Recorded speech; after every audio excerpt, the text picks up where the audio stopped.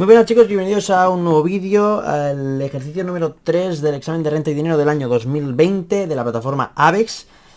Y bueno, aquí tenéis eh, los datos, básicamente es un ejercicio donde tenemos que calcular la inversión nacional. Y para eso nos vamos a citar la identidad, una identidad que sabemos que nos dice lo siguiente, nos dice que el ahorro nacional es exactamente, es exactamente igual a, al ingreso, al ingreso, perdón, a la inversión nacional más el saldo de balanza por cuenta corriente.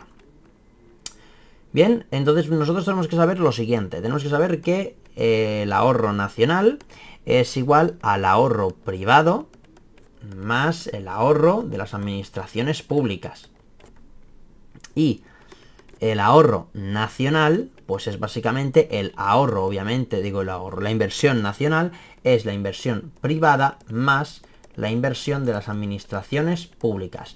Hay veces que ponen lo privado como bruto, ¿vale? A mí no me convence. Yo de momento no no quiero hablar sobre ello, eh, eso soy un poco, pues, eh, vamos a decirlo, que mm, no, no, no quiero hablar sobre, sobre si brutos, si no, si sí o si netos, no quiero hablar sobre esto, porque realmente en este ejercicio, aparte de que no sirve para nada, a mí, para mi gusto, nos lía muchísimo, pero muchísimo, pero muchísimo más.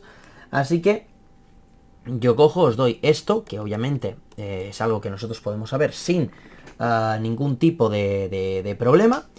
Y claro, nos piden que calculemos la inversión nacional. Y para calcular la inversión nacional, nosotros pues tendríamos que despejar esto de aquí, ¿no?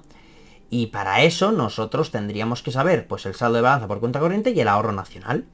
Así que si nosotros sabemos el ahorro nacional, el ahorro nacional, bueno, ¿qué es lo que sabemos? Que es el ahorro privado y el ahorro eh, público. El ahorro público, en este caso, creo que nos lo dan. El ahorro público es de menos 8. Por lo tanto, aquí tenemos ahorro de las administraciones públicas es igual a menos 8. Ahora, ¿qué pasa con el ahorro privado? El ahorro privado, lo que pasa es que es el ahorro de los hogares más el ahorro de las empresas. El ahorro de los hogares, ¿cómo lo vamos a calcular? Pues el ahorro de los hogares lo vamos a calcular como la renta disponible en los hogares menos el consumo dentro de los hogares. Y el ahorro de las empresas es básicamente el beneficio no distribuido. Se suele llamar beneficio no distribuido, ahorro de las empresas. En fin, es, lo mismo. Así que, eh, en este caso, pues el ahorro de, las, de los hogares sí que lo podemos sacar, ya que eh, la renta disponible creo que la tenemos aquí, que son 43. 43 menos el consumo de los hogares, que lo tenemos aquí, que son 23.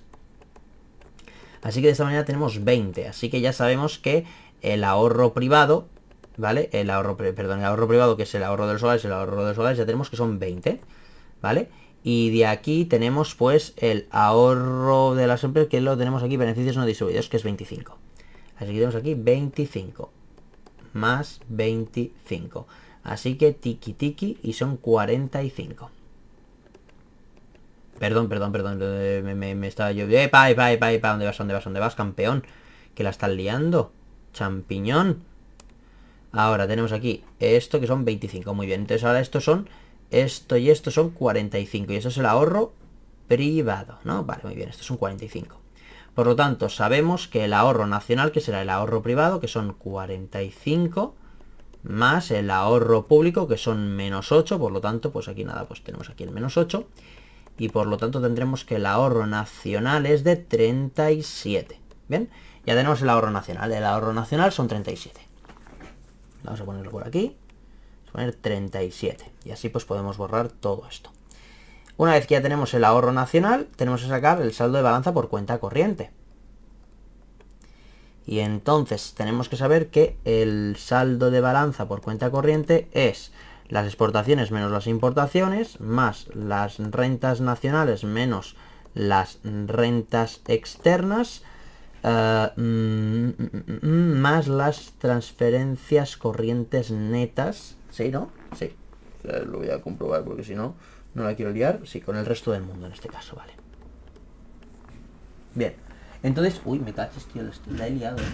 Sí, la he liado, perdón. Bueno, no, no, no es del ejercicio, perdón. Era de, era de un cacharrito.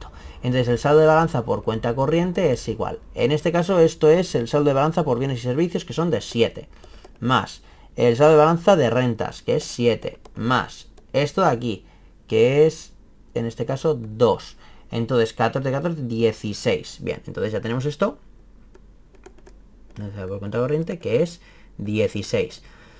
Bien, una vez que ya tenemos esto de aquí, eh, sabemos que el ahorro nacional es igual a la inversión nacional más el saldo de balanza por cuenta corriente. Así que el saldo, digo, el ahorro nacional son 34, es igual a la inversión nacional más el saldo de balanza por cuenta corriente, que son 16. Pasamos el 16 al otro lado restando. Así que la inversión nacional es igual a 34 menos 16, si mal no voy, ¿no? Creo que no le he liado. Es que 34, ¿de dónde sale el 34? Si es 37, era 37, me he equivocado aquí. Era 37, perdón, me he equivocado. 37, 37, me, había equivocado yo. Era 37. Em, entonces ya ahora tenemos 37 eh, menos 16, que son exactamente igual a 21. ¿Vale? Así que tenemos aquí la respuesta correcta.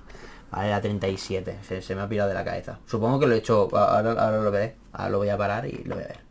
Espero que os haya servido y nos vemos en el próximo vídeo. Un saludín a todos.